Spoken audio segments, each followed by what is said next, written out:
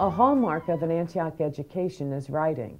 Wherever you go, from New England to Santa Barbara to LA, up to Seattle and over to Yellow Springs, Antioch students and faculty write. The thing about writing is that it is hard work, and that while we might excel, we also need support.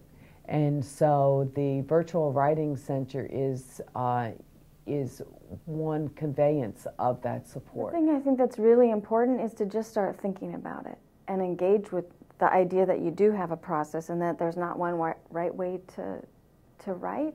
And uh, my experience is that a lot of people sort of come up through their education thinking that, that you know, we learn a lot of rules. And so people think, well, writing is about the rules. And that's not the case. It's not true that, that that's what really is going on. I mean, there are rules there to give us some structure and to help us understand how language functions. But really, um, you know, it's about creating knowledge and it's about exploring and it's about understanding and it's about expressing yourself. Students, I think, sometimes get very caught up in this idea of the right way, and there isn't a right way. Um, sometimes there's more than one right way for you, even. So just to explore what those things are and to just try to be open and, and try new things too. Students come to university and they have this idea that they need to know everything already, especially when it comes to writing. Um, and Midwest Campus in particular draws from a particularly diverse populace that hasn't been writing a lot.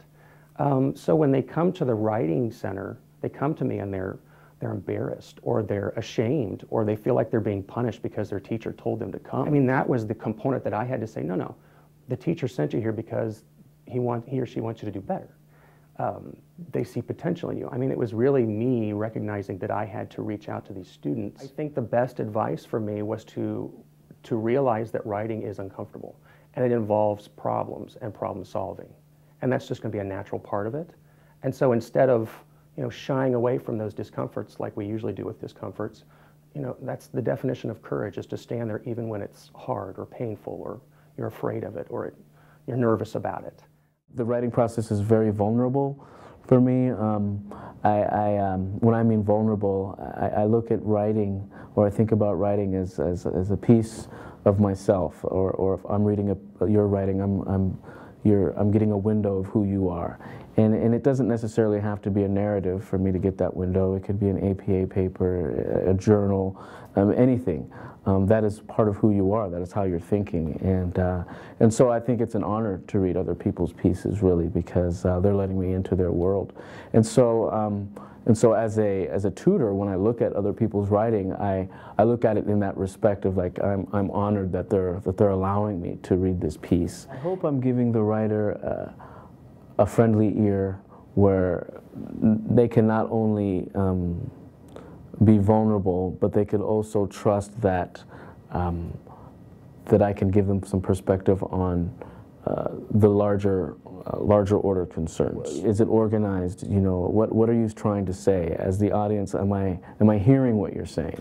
Do I feel like when I read the the topic and then I read the paper and I finished it, do I feel like I, I got something from it? Do I feel like I learned something? I think my main role as a consultant is to help students kind of see, get a mirror of what they're saying and how it sounds to the outside reader. And when we're in our own heads and we're, we're writing at a computer and we're by ourselves and we're thinking about what we're thinking about, we, there's only a partial voice there. You know, we're, we're kind of thinking some parts and writing some parts, and we assume a lot of things. We assume that we know what we're talking about. We assume that the reader knows certain things that we're talking about, and it's that's the gap that happens a lot in writing. You know, the writing consultant or the writing assistant's job is to really kind of reflect back to the student what it is that it sounds like they're saying and what it is that they're not saying. She'll ask me questions mostly. It's a very uh, dialectic process um, and uh, kind of Socratic at times, actually. She'll try and sort of pin me into a corner with questions, and at the end of it, uh, after I've given her my line of reasoning, she'll say, okay, now put that in your paper.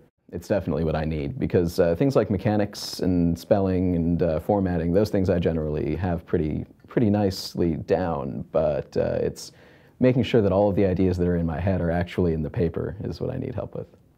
And often the best feedback I get is to actually prune things down, to be succinct, to be clear, conversational. Uh, so I appreciate uh, commentary on the strengths of my writing. Um, at the same time, I've noticed themes of my weaknesses, which is to be a little overmuch.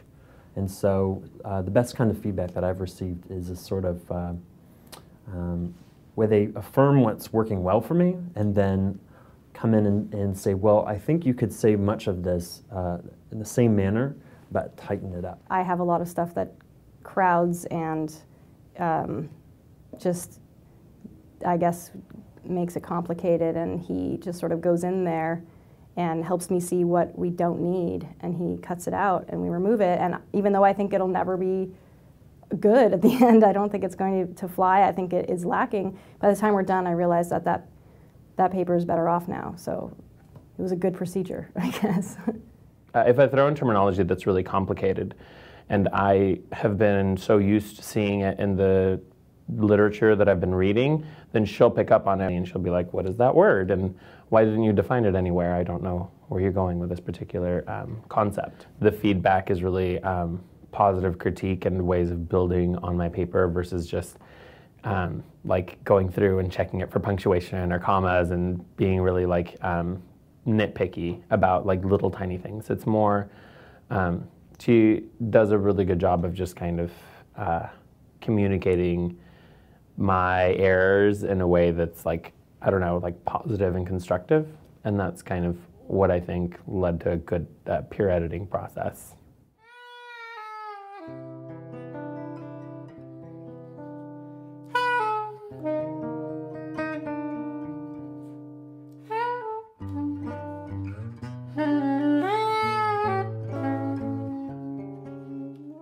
Antioch University, we write.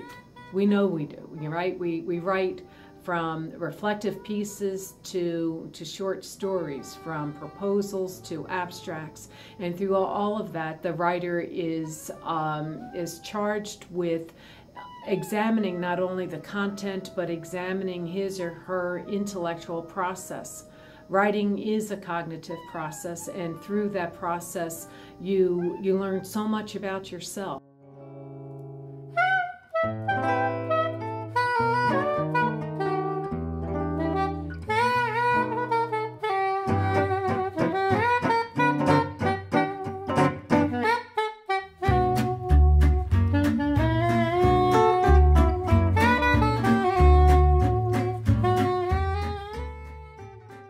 A writer needs besides the content expertise, besides understanding conventions, a writer needs a community.